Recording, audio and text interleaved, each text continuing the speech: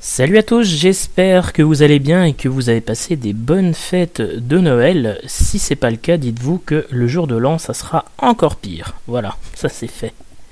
Alors, comme vous pouvez le voir, on a enfin des nouvelles de la saison 3. Hein. Euh, je vais faire d'abord un rapide retour sur les, les modes. J'ai eu beaucoup de retours de votre part, c'était très intéressant. Vous êtes visiblement quand même en grande majorité à ne pas avoir envie d'utiliser des modes soit craqués avec des réservoirs à 2000 litres d'essence, soit des choses comme ça, soit qui peuvent carrément, à mon avis, faire planter votre console ou carrément votre sauvegarde, enfin votre jeu plutôt mais votre sauvegarde aussi, surtout avec ce fameux glitch, à mon avis, des, des 5 millions, je pense que euh, beaucoup vont avoir une sauvegarde corrompue parce que quand on voit que sur Cyberpunk et autres des jeux avec un level bien plus haut de qualité en termes de développement, il y arrive à avoir des sauvegardes corrompues, je pense que sur SnowRunner il manque juste ça et on aura vu tout ce qui existe en bug. Hein. Euh, vous êtes certain aussi à, m'avoir beaucoup critiqué. Hein, euh, pourquoi tu parles des modes si t'aimes pas? Bah euh, parce que ça fait partie de l'actualité peut-être. Peut-être qu'il faut que je teste avant de dire que j'aime pas aussi. Certains m'ont critiqué en me disant non non il n'a pas 33, il en a 75. Bon c'est sûr que si t'arrives deux semaines après, il y a un peu plus de modes, c'est sûr. C'est un peu comme ça que ça marche. Et pour finir, je ne sais plus. enfin bref, je, je, me suis fait un peu agresser par une ou deux personnes parce que j'ai pas le droit de parler des modes si j'aime pas. Voilà. il y a une autre personne qui m'en a beaucoup parlé et qui a été très polie et on n'a pas du tout le même avis, si je me rappelle bien, je me, me souviens plus trop, mais au moins on a discuté poliment et c'est faisable. Hein. C'est pas parce qu'on n'est pas du même avis qu'on n'a pas le droit de discuter calmement et avec nos arguments. Bref, il y en a qui ne savent pas ce que c'est que des arguments. Alors, cette saison 3, donc ils nous préviennent qu'il peut y avoir des bugs à prévoir. Bon, ça m'étonnerait, hein. Ça m'étonnerait beaucoup. Généralement, ils arrivent dans la version finale, les bugs. Hein. Alors, le nouveau contenu, donc on aura la nouvelle région du Wisconsin avec deux nouvelles maps. On peut peut-être déjà tout de suite aller voir ça, comme ça si vous voulez partir, vous pourrez partir. Parce que certains des fois ne restent pas très longtemps. Donc nous avons Black Badger Lake et Greenwoods River.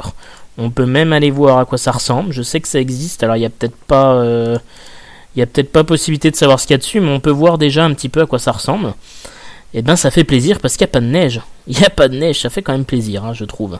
Ça, change, ça change. Même si c'est SnowRunner, ça fait quand même plaisir d'avoir autre chose que de la neige. Ça fait un peu tristoun quand même, un petit peu, un petit peu grisâtre, euh, un peu pollué, ou je sais pas trop comment dire, mais ça fait un peu tristoun leur map. Alors peut-être que ce sont des versions, euh, des versions non finales. Hein. Il se peut que ce soit des cartes qui aient un peu fuité, etc. Hein. Si vous voulez les voir, vous pouvez retourner comme d'habitude sur MapRunner qui, qui ont posté tout ça et qui vont bien entendu y mettre à jour. Nous avons ensuite deux nouveaux camions et un troisième qui sera ajouté en janvier. Donc le premier camion sera l'International Pestar 5600 TS. Je suppose que ça veut dire Twin Steer puisque j'ai réussi à trouver une image. Alors la cellule de gauche, ne regardez pas, je pense que c'est un mode. Je pense que ça c'est un mode. Euh, je pense que c'est celui-ci, ça ressemble beaucoup au niveau des phares. On peut voir qu'il y a deux roues à l'avant, comme le Twin Steer, comme euh, je ne sais plus comment il s'appelle. Je l'appelle tout le temps Twin Steer, ça sera difficile maintenant. Et on peut voir qu'il y a deux ou trois roues à l'arrière. Alors très probablement avec une grue que ça sera comme dans Mud Runner, c'est-à-dire que la, la remorque sera articulée à ce niveau-là. En fait, ça va tourner. C'est le bois qui va être une remorque euh, et qui va être sur deux autres roues un peu plus loin. J'ai trouvé deux autres euh, photos. Alors là, c'est pas forcément euh, le bon véhicule. Hein. C'est très très compliqué. Vous pouvez essayer de taper euh, P-Star 5600 TS ou Twin Steer.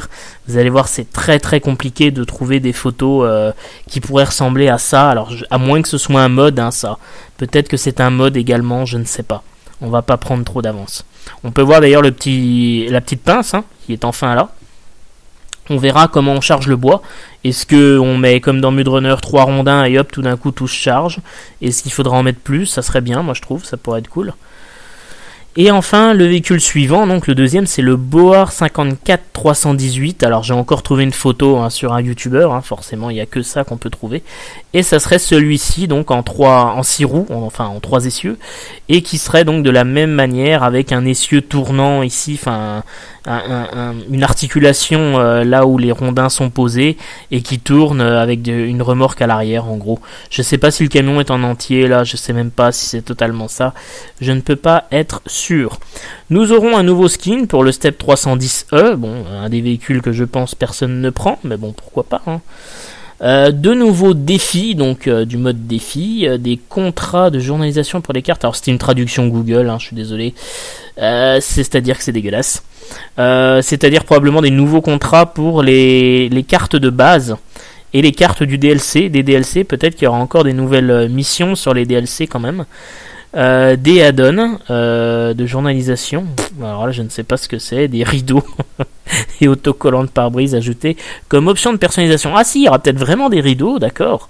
C'est dingue, il leur faut 6 mois pour mettre 3 euh, personnalisations dans un camion. C'est surtout que moi je trouve pas ça spécialement intéressant, mais bon. Et des aimants de personnalisation supplémentaires pour tous les camions. Bon, bah on verra ce qu'ils nous ajoutent. Ajouts généraux, prise en charge d'une plage basse réglable pour les boîtes de vitesse spéciales, donc des vitesses basses, ensemble de musique euh, sur les cartes dans un ordre aléatoire, possibilité de supprimer les remorques sur la carte via les menus de fonction. Alors ça, je suis assez curieux de savoir comment ça se passe, euh, parce que si on supprime une remorque, j'imagine qu'on perd le pognon qu'on aurait pu gagner pour la ramener, même si c'est pas énorme, ça atteint, je crois, maximum 8000, mais bon, ça peut être toujours intéressant. Correction de bug où les camions laissés sur un pont pouvaient rester bloqués lorsque le jeu était relancé. Oui, c'est gênant. Alors pour la petite anecdote, euh, nous avons un vainqueur donc euh, par rapport au bug. Euh, j'avais bien dit, hein, ne démarrez pas votre jeu. Hein, on m'a donné raison, hein, puisqu'il y a des tas de gens qui ont perdu des véhicules sur la map du pic du saumon. Et notre grand gagnant en a perdu 8. Voilà. C'est pas dégueulasse 8. Hein. Franchement, fallait le faire. Hein. Bien joué à toi. Tu dois être bien vert. Et on a un deuxième gagnant, cette fois avec les modes. Hein. J'avais dit que les modes risquaient de bugger. Et ça y est, on a un exemple. Quelqu'un a perdu 4 modes euh, en relançant son jeu. Et donc le pognon qui allait avec. Voilà. D'où le plaisir d'acheter les modes. Puisque si les modes bug, eh ben, on perd l'argent du jeu qui n'est pas un mode.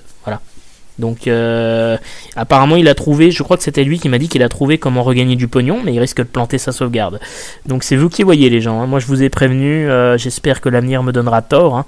Je suis pas là pour avoir envie d'avoir raison, j'espère que ça me donnera tort, mais euh, voilà, c'est très dangereux quand même. Hein. Correction d'un bug ou démarrage moteur apparaissait quand on voulait utiliser le Troy en coop. Correction d'un tremblement de la caméra sur lorsqu'un joueur utilisait l'un des boutons déplacer la grue. Pour le camion KRS-58, ouais, il y en avait plein de bugs avec celui-là. Hein. Euh, les balises sur les camions sont désormais désactivées par défaut. Ouais, pourquoi pas. Correction d'un bug lorsque dans la tâche outil pour l'entrepôt Big Salmon, lorsque le joueur s'approchait de l'objectif de la remorque Curtainside, pour la première fois, il sautait du sol. Ça, c'est pour toutes les remorques, les gars. Hein. Vous faites pas chier, hein. c'est toutes les remorques, ça.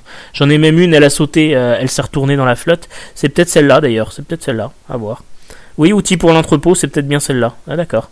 Oui, oui, j'ai eu un joli. Euh, c'est dans le best-of. C'est dans le best-of. Vous aller voir. Amélioration des points d'attache d'un treuil sur la remorque Heavy Rock Trailer. Remorque lourde, ouais. Correction d'un bug lorsque la remorque véhicule objectif était à nouveau découvert après le redémarrage d'une tâche. Euh, ouais, d'accord. Bon. Euh, ajout d'une tâche d'huile dans l'eau lorsque le camion des joueurs y est. Euh, ouais, si tu le dis. Correction d'un bug lorsque dans certains cas les points affichés dans le garage pour déverrouiller des objets étaient erronés, n'étaient pas liés au rang réel des joueurs. Ça serait bien qu'on ait plusieurs rangs d'ailleurs, parce que bon, rester calé au rang 30, euh, ça sert pas à grand chose du coup. Correction d'un bug lorsque le son des encres était en boucle si le camion était changé pendant que les encres se déplaçaient. Ouais, ça c'est génial. Correction d'un bug ou autre coopératif pour inviter des joueurs malgré la limite de joueurs du jeu étant maximum. D'accord, magnifique. C'est bien, hein. ça va jusqu'à 4 les gars, hein. bravo. Euh, bug lorsque la grue du camion KRS tournait dans certains cas après être entré dans le camion si la grue était tournée à 180 degrés. Oui, ça faisait l'hélicoptère. C'était chouette, fallait pas l'enlever ça, c'était cool. Correction d'un bug lorsque les, lorsque les marqueurs de destination étaient placés après la rotation de la carte, d'accord. D'un bug lorsque la distance n'était pas convertie en système métrique gallon, miles dans les missions impliquant le vibrateur sismique, ouais d'accord. Foulée désactivée pour les camions sur la carte lorsqu'un joueur conduit à proximité. Correction d'un bug dans les menus gestion du groupe, le troisième emplacement était déverrouillé alors que le jeu était limité à deux joueurs. D'accord. Euh, correction d'un bug où une grue n'était pas entièrement restaurée pour les autres joueurs dans le jeu coop. Correction d'un bug qui empêchait parfois les joueurs de se faire défiler la liste des camions dans la fenêtre de mise à niveau obtenue. Oui, d'accord. Ajout d'une fenêtre contextuelle de confirmation de désabonnement. Ouais, d'accord, ça c'est pour les modes, d'accord, j'avais pas vu. Correction d'un bug par défaut, l'option trier par nom était dans l'ordre alphabétique inversé. Correction d'un bug où la fenêtre de description du rapport du mode était limitée à 30 caractères. Correction d'un bug où dans certains cas, la liste des modes que le joueur doit télécharger pour rejoindre une partie coopérative n'était pas complète. Correction d'un bug où les modes étaient disponibles dans le magasin de camions pour un client en session coop sans mode. Ah, c'est intéressant ça. Ah, c'est intéressant parce que du coup, il le paye, il le garde et après, quand il passe sur sa session, ça se trouve, hop, perdu, plus de pognon. C'est intéressant, c'est peut-être ce qui est arrivé à l'autre personne d'ailleurs. Correction d'un bug où l'invitation à un jeu en coopération ne fonctionnait pas dans le navigateur de mode et une fois que le joueur quittait le navigateur de mode, j'imagine que c'était foutu. Ok, d'accord. Modding. Correction d'un bug où le compteur véhicule trouvé n'augmentait pas lorsque le joueur trouvait des véhicules sur la carte du mode. Ouais. Ajout de vérification, de vérification, de mode supplémentaire dans le processus d'emballage de l'éditeur du jeu. Oh, les traductions, vraiment. Nom d'employeur personnalisé pris en charge, prise en charge de l'achat de tous les camions de différentes régions dans des scénarios personnalisés. D'accord, ça c'est un truc qu'il faut virer. Hein. L'achat de camions dans les régions euh, de Russie ou Amérique, c'est de la merde ça, sert à rien parce que tu te téléportes, t'achètes le camion, tu reviens. Ça fait juste chier en fait. Ça n'a aucun. Euh, si, encore on pouvait, par exemple, genre acheter tous les camions partout, mais on peut pas leur emmener de l'Amérique à la Russie. Ça, ça aura un intérêt. Mais là, ça a aucun intérêt, les gars. Aucun, aucun. Juste t'emmerder à faire des temps de chargement inutiles. Les créateurs de mode peuvent maintenant créer des add-ons avec une fonctionnalité de tour de game mobile. D'accord. Créateurs de mode peuvent désormais définir le niveau du joueur par défaut, le montant d'argent dans les scénarios personnalisés. Alors ça, ça on s'est pas mal battu euh, courtoisement, on va dire, sur le fait d'avoir un mode et de devoir payer les modes, d'avoir un niveau ou devoir payer les modes, etc. Moi je trouve c'est une mauvaise chose parce que si t'es un débutant du jeu et que tu te dis tiens j'achèterais bien un mode, euh, peu importe, de toute façon, comme je disais, c'est que du mode solo, donc c'est pas grave si jamais ça cheat, etc. Euh, vous prenez le mode et c'est pas grave, quoi. Euh, c'est gratos, etc. C'est un mode. Pourquoi leur payer Pourquoi avoir un niveau? Pourquoi avoir besoin du pognon? En plus, si jamais le mode plante, on perd le pognon.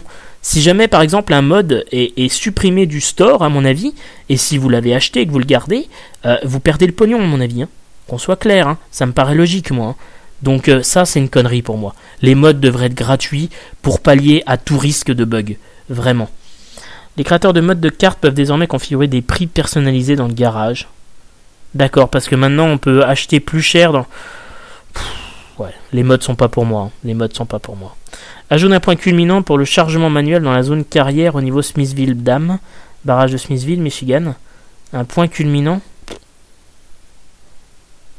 Hmm, dans la zone carrière. D'accord, peut-être que c'est placé sur une plateforme, je pense que ça veut dire ça. Correction d'un bug où les joueurs ne pouvaient pas redémarrer la tâche instrument perdu à Zimegorsk. Ça peut être gênant, effectivement. Les camions ont mis en place des miroirs modifiés pour le WS49X, donc le Western Star. Euh, et point de connexion du Troy modifié pour la grue Bandit. D'accord, admettons. Bon, bah voilà, on a fait le tour. Désolé, c'était un peu long, mais je m'ai bien fait peut-être de parler des corrections de bugs après. Comme ça, vous savez tout sur, euh, la mise à jour. Donc le Boar qui va arriver normalement. Le, le Twin Steer euh, de chez euh, International P-Star, qui serait celui-là, j'imagine. Hein. ça a l'air de correspondre à peu près. Hein. à vérifier. Hein. à vérifier. Plus le troisième camion qui va arriver après. Je pense qu'il va falloir attendre un petit moment avant d'avoir des, des, vrais trucs. Vous pouvez trouver sur YouTube des vidéos de gens qui jouent déjà, probablement. Donc donc voilà. Eh bien écoutez, euh, je vous laisse, je pense que j'ai tout dit, je vous ai informé de tout. Merci de l'avoir regardé et à la prochaine. Salut